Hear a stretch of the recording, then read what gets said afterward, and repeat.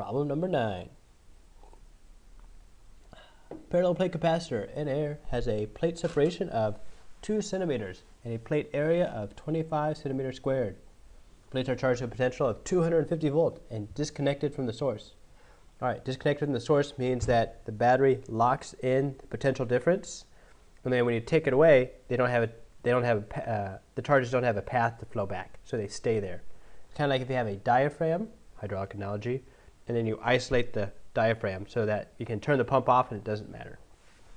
The pressure is locked in, if you will. The plates are charged to a potential difference of uh, 250, disconnected from the source. The capacitor is then immersed in distilled water. All right, so this is going to get into dielectrics. Assume the liquid is an insulator. Okay, so determine the charge on the plates before and after the immersion. Okay, we can do this. So I'm going to draw a picture. And nope. There we go. Now copy paste. Up. All right. So here's our plates, parallel plate capacitor. I'm going to write up a formula. The formula will be Q uh, capacitance equals Q over V. It always is hard for me because capacitance and uh, Q both have the same sound, so it really throws me off. All right, determine the charge. So let's see. We don't know the capacitance, but you should probably know it for a um, parallel plate capacitor. Capacitance. Let's see if they give us some cheat sheet here. Bam, right there, top one. Epsilon naught A over D. All right. So capacitance will equal epsilon naught A over D. So this epsilon naught, and I'll discuss it a little bit later, only applies for when it's air, or space, vacuum. Air is pretty much vacuum. So what we want to do is find the charge, Q. So we're going to use these formulas. We know epsilon naught because it's constant. We know the distance between the two, D. We know the area, and we know the voltage. So there's a terrible boardsmanship. Move that guy over here, multiply by V. There we go. So now we got Q. So we're going to do 8.85 times 10 to the negative 12th times area, which is 25 centimeters squared. That's going to be uh, times 25 times 10 to the negative fourth because we need to convert it to meters squared, times the voltage, which is 250, divided by the distance between the two, which is 2 times 10 to the negative 10th, divided by 2 times 10 to the negative 10th. Ooh, by 10th I mean 2.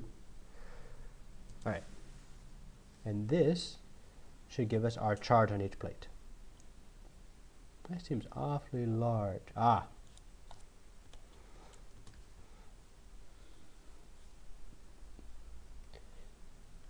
There we go. That seems right. I'm going to call that 2.77 times 10 to the negative 10th.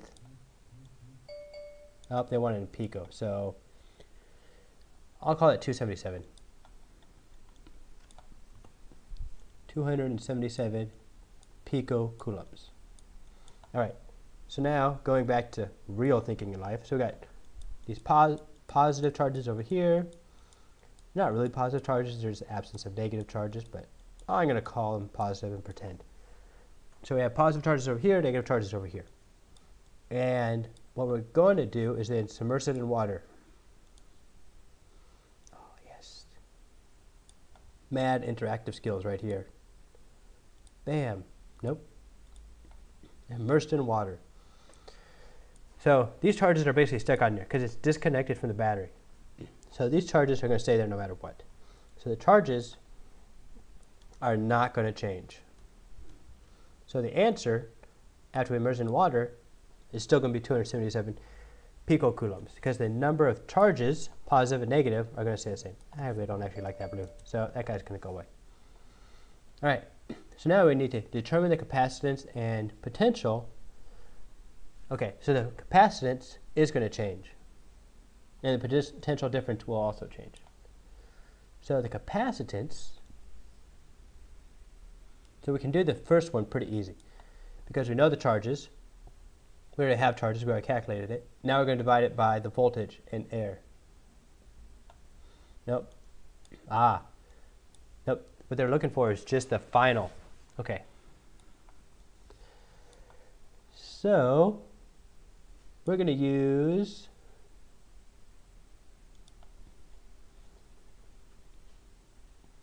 this formula right here.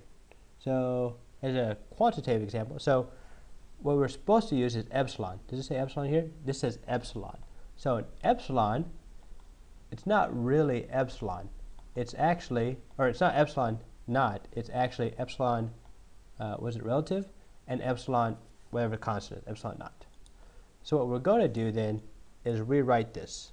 We're going to say that the capacitance for a parallel plate capacitor is epsilon r times epsilon naught times a over d. Make sure I got that guy right. Yes, epsilon naught a over d. Where r, so if this was air, uh, epsilon r would be um, 1. But we're not dealing with air now, we're dealing with water. So we're going to get a new capacitance. So then, let's look up what this new capacitance is. All right, so this is relative permit permittivity. Go down to water. This is all in Celsius, so 20 is about what room temperature is. I'm going to assume that's what they're using. And we're going to use 80.1. So I'm going to do 80.1. Mm. There we go. And then I'm going to do, kind of cheat here, capacitance air. Because we already calculated this guy right here. Or at least it's easy to calculate it. It'll be epsilon naught A over D. Yep. So it'll be the previous thing we did. We'll take out the 250 volts.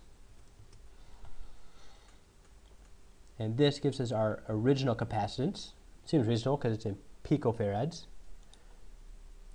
And now we're going to multiply it by 80.1. So our 8.85 times 10 to the negative 12th multiplied by 80.1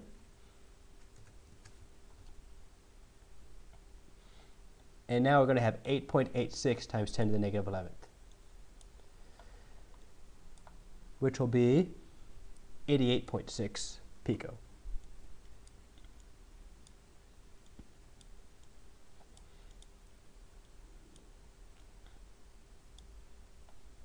Nope, they don't want pico. They don't want pico at all.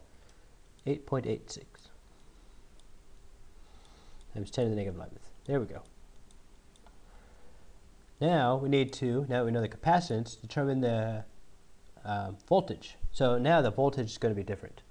The, uh, the energy required to move in a charge from one side to the other will change based on the uh, dielectric we put in. Um, you might think that, wow, this is creating or losing energy.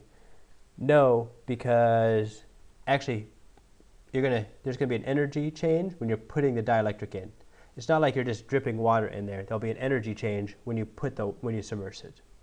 Um, might not be a lot, so you wouldn't necessarily notice it by uh, feeling it, but but when you put in the dielectric, you're getting a uh, you're getting a change in energy. So it's not like this is free energy here. So, in case you were curious, all right. So we have the standard capacitance equals Q over V. And so therefore V will be Q over C. We just found the capacitance here, and we know the uh, um, charge from up here, which is 277 times 10 to the negative 12th. So I am going to piggyback off my previous calculations. Nope, there we go. 277. 277 times 10 to the negative 12th divided by. And this should give us a reasonable number like, you know, maybe 100. 3. That works too. I'll, I'll believe that. So 3.13. Okay. 3.13. Hmm. So we reduced it from 250 volts to 3.13, which makes sense because 250 divided by 80.1 is 3.13. Interesting. All right, determine the change in energy of the capacitor. All right, so the first capacitor, we're going to use energy equals 1 half CV squared. So let's see. Do we have the capacitance, the first one? So I, the way I would write this out will be capacitance initial, which is, I'm just going to redo this, 8.85 times 10 to the negative 12th times, let's see, we have an area, area which is 25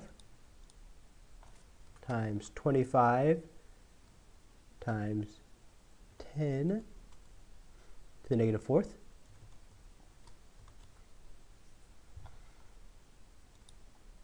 Divided by the distance separated, it should be divided by 2 times 10 to the negative second.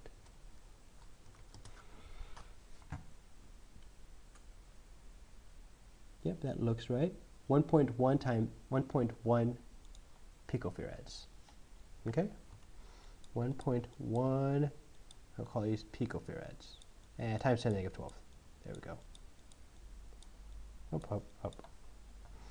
Then voltage initial is 250. Got that. And then capacitance final is 8.86.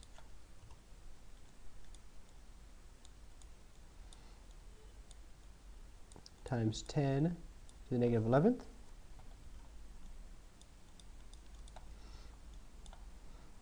Look like a two-year-old drawing with a crayon.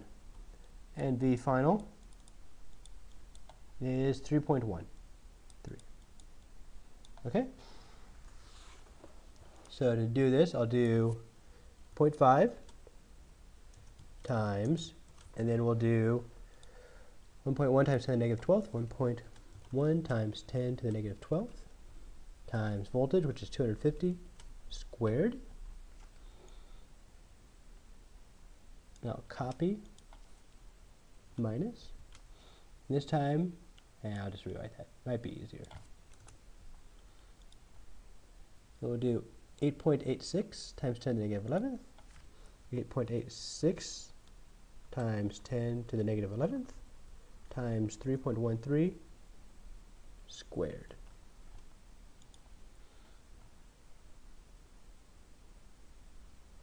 Yeah, seems reasonable. Let's see what happens. And we have 3.4 joules. 3.4 times 10 to the negative 8 joules. Ah. So I'm going to say 34 nanojoules. 34 nanojoules. Determine the change in energy capacitor. Yep. And that is how you do these capacitor problems. So that's how you do dielectrics. So all the time before when I've been using epsilon naught, what I've really been meaning was epsilon naught times epsilon r, where there's a specific epsilon r for everything. Um, air is about 1, vacuum is 1, and everything else you probably have to look up. All right? Sound good? That's it for this week. See you next week.